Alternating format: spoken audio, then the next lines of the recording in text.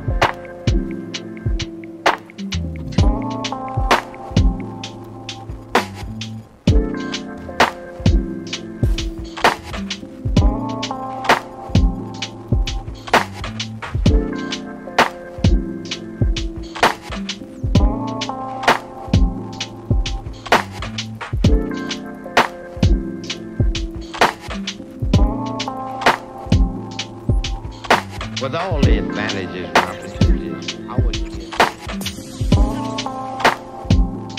Soldier. With all the